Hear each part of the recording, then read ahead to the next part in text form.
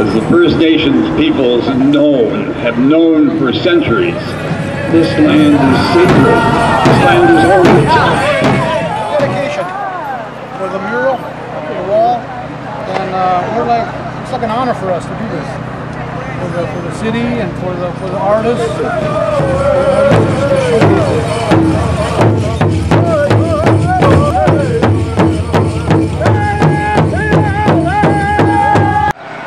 The kids. The kids have never seen Indians before. The look in their eyes. As far as they, they know that there are no more Indians.